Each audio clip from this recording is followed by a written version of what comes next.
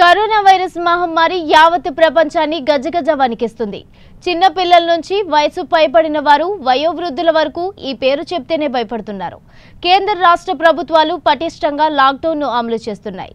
ఈ నేపథ్యంలో నెల్లూరు జిల్లా వ్యాప్తంగా అధికారులు పూర్తి స్థాయిలో లాక్డౌన్ అమలు చేస్తున్నారు.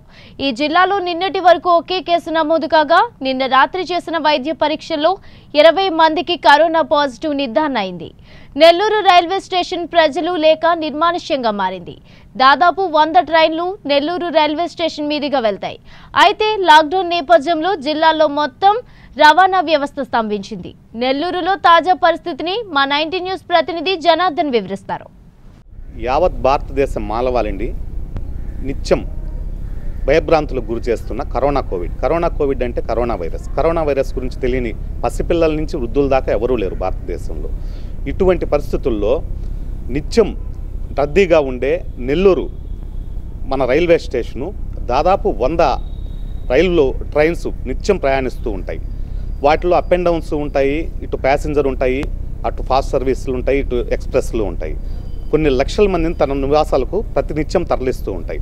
అటువంటి రైల్వే స్టేషన్ ఈరోజు మనం దృశ్యాల్లో చూస్తున్నాం. మొత్తం మోడుబారిపోయి ఉంది.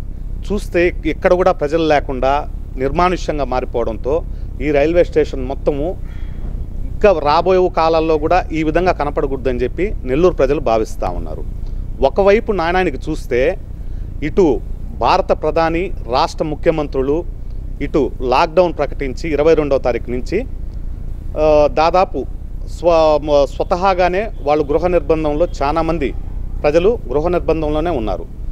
అట్ట ఉన్నా కూడా ఈ నడిమిజ్జన ఢిల్లీ నుంచి నజిముద్దీన్ సంస్థ ప్రార్థనా మందిరానికి వెళ్ళిన దాదాపు వెయ్యిన్ని యాభై మంది ఒక్కసారి ఈ ఆంధ్రప్రదేశ్లోకి చొరబడడంతో చొర రావడంతో దాదాపు కొన్ని వందల కేసులు నమోదవుతూ ఉన్నాయి.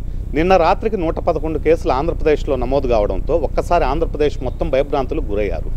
ఇటు భారత ప్రధాని ఆరోగ్య దృష్ట్యా ప్రజా శ్రేయస్సు దృష్ట్యా లాక్డౌన్ ప్రకటించినప్పటికీ దాదాపు నాలుగు రోజుల క్రితం వరకు ఇరవై మూడు కేసులు ఇరవై నాలుగు కేసులు ఏపీలో ఉండడంతో ఏపీ ప్రజలు మొత్తం పూర్తిగా గాలి పీల్చుకున్నారు.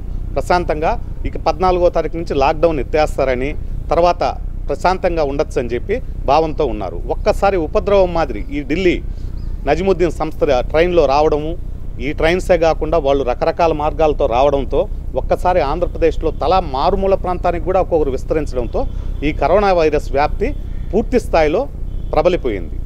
ఒకవైపు విలయతాండవం చేస్తున్న కరోనా వైరస్ను అరికట్టలేకపో అరికట్టలేకపోవటంతోనే చాలా ప్రభుత్వాలు గందరగోళ పరిస్థితుల్లో ఏర్పడిపోయి ఉన్నాయి. అమెరికా బ్రిటన్ ఇటువంటి దేశాలే ఆర్థికంగా సంపన్నంగా ఉన్న దేశాలే ఈరోజు ఈ కరోనా వైరస్ దెబ్బకు అతలాకుతలం అయిపోతూ ఉన్నాయి.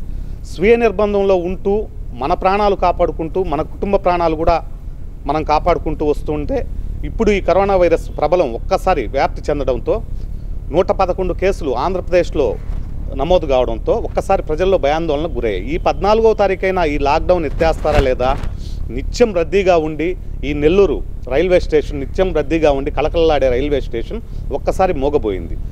రాబో తరాల్లో కూడా ఇటువంటి దృశ్యాలు మేము చూడకూడదని చెప్పి చాలామంది ప్రజలు భావిస్తూ ఉన్నారు. ఇటు పోర్టర్స్ కానీ ఇటు చాలామంది రైల్వే సిబ్బంది కానీ చాలామంది రైల్వే కూలీలు కానీ దీనిపైన ఆధారపడి కొన్ని వేల కుటుంబాలు జీవిస్తూ ఉన్నాయి. వారికి ఎటువంటి సదుపాయం గవర్నమెంట్ అందిస్తూ ఉందో వాళ్ళకు శాలరీస్ అంటూ ఏముండవు. వాళ్ళకి ఎటువంటి సదుపాయాలు అందిస్తూ ఉన్నారు వాళ్ళని ఆదుకోవడానికి ఎటువంటి చర్యలు చేపడతా ఉన్నారు అనేది ప్రజల్లో చాలా వరకు నిరసనలు వెల్లువెత్తుతూ ఉన్నాయి. ఇటు ఇబ్బంది రైల్వే స్టేషన్లో ప్రతి ఒక్కరికి ఇబ్బంది అయిపోయింది ఆటో డ్రైవర్లకి.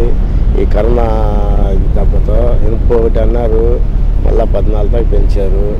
ఆ పెంచింది కూడా మాకు ఏం అర్థం కాకుండా ఈ రోడ్ల పైన రావాలంటే భయం అవుతుంది. అటు ఏం పట్టించుకుంటా ఏదో అందరికీ ఏదో రేషన్ బియ్యం అది ఇది అని ఒక వెయ్యి రూపాయల బియ్యం ఇస్తున్నారు. అంటే ఏం సరిపోదు ఆ కుటుంబానికి కూడా సరిపోదు అది. నలుగురు ఉంటే ఐదు కిలోల బియ్యం ఏం సరిపోతుంది చెప్పండి. ఇక అన్నీ మీరే ప్రభుత్వం ఏదో ఒకటి పట్టించుకొని ఈ పేద పేదల్ని ఈ ఆటో కార్మికుల్ని ఈ రిక్షా వేసిన వాళ్ళని రిక్షా మామూలుగా సైకిల్ పైన తిరిగేటోళ్ళని కొద్దిగా ఇబ్బంది లేకుండా ఏదో మాకు సౌకర్యంగా మేము వచ్చాడు ఏం తిరిగేదిలే చేసేదిలే ఏదో మాకు కొద్దిగా హెల్ప్గా చేసి ప్రభుత్వం కొద్దిగా ఆధ్వర్యం తీసుకుంటే చాలు. ఇటు కూలీలే కాకుండా ఇటు చీపర్స్ ఇటు చాలామంది రైల్వే కాంటాక్ట్ బేస్లో ఉండేవాళ్ళు కూడా శాలరీస్ వచ్చే పరిస్థితి ఉండదు. వాళ్ళేదో కూలీ నాలి చేసుకొని మూటలు మోసుకోవడం వల్ల దానివల్ల వాళ్ళకి పది రూపాయలు ఎవరైనా ఇస్తే బతకగలరు తప్పితే వాళ్ళకి ఎటువంటి ఆదరవు లేదు. ఇప్పుడు ప్రభుత్వాలు ప్రకటించే మినిమం వెయ్యి రూపాయల డబ్బులు రేషన్ బియ్యము వాటితో బతకాలంటే సాధారణ జీవ సామాన్య ప్రజలు కూడా బతకలేని పరిస్థితి ఏర్పడింది. దీనివల్ల ప్రభుత్వం వెంటనే రైల్వే కూలీలు రైల్వే పోర్టర్స్కి తగిన సహాయం అందజేసి కేంద్ర ప్రభుత్వం ఆదుకోవాలని చెప్పి చాలామంది పబ్లిక్ కోరుకుంటా ఉన్నారు. కెమెరామెన్ ప్రణీత్తో జనార్దన్ నైన్టీ న్యూస్ నెల్లూరు.